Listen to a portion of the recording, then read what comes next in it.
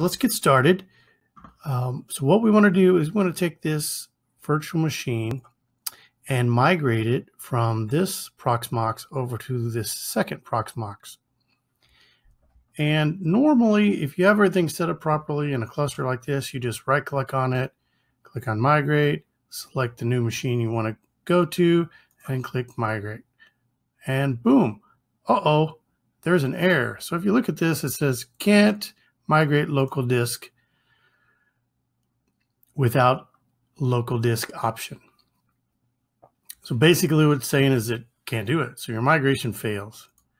And then, but you want to have a live machine. You don't want to take it down. So let me just show you that this guy is up and running.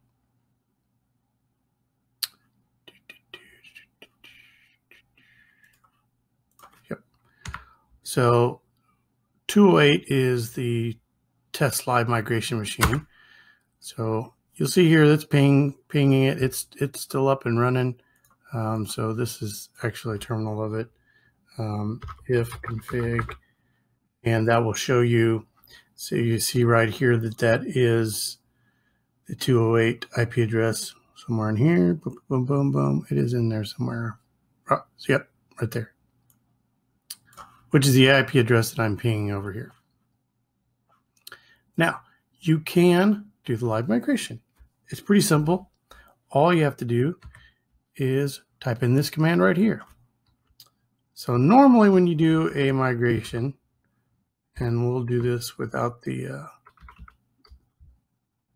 part on here. When I hit that there, it's going to give me that same error. But, so this 106, by the way, so let, us break this down for just a second here.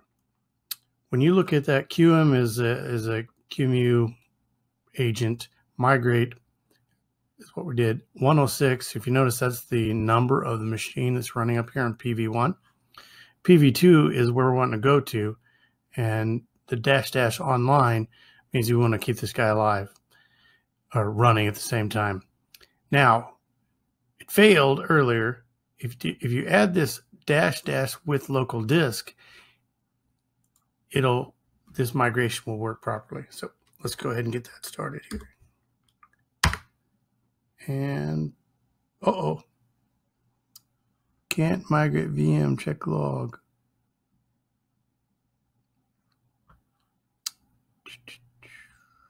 Oh, local CD-ROM image. Okay, so there's something else we need to change first here. So when I go with this guy and I go to hardware and I go to CD-ROM, see I still have the live CD in there. Let's go ahead and edit that guy and just um, do not use any media. And hit OK on it. Now, I'll go back here.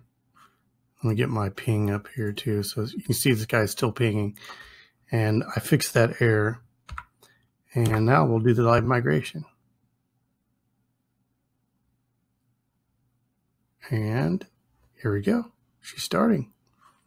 And we'll also look down here in the console portion of uh,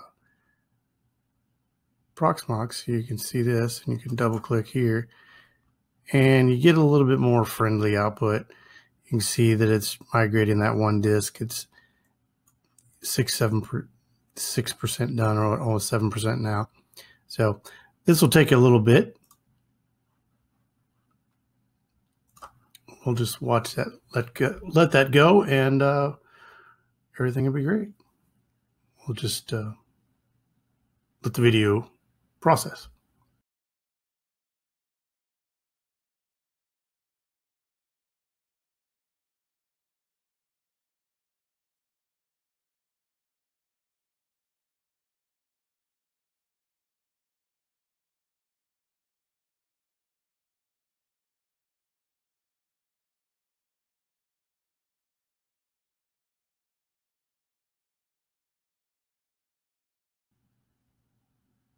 All right, 100% finished.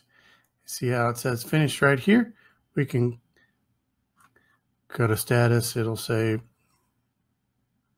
OK. If you notice up here in PV1, you no longer see the 106. So if we close that guy up and go on to PV2, you do see that 106 in here. And you also notice that the ping continued the entire time. And that's how you migrate uh, a live machine in uh, Proxmox. It's a pretty simple process. When you have two two node cluster. Thanks for joining me. Thanks for watching. If you like that video, just give us a thumbs up. If you want to see more content, hit the subscribe button and the bell icon to get notifications. If you want to hire us for a project, head over to getmethegeek.com where we offer business IT solutions.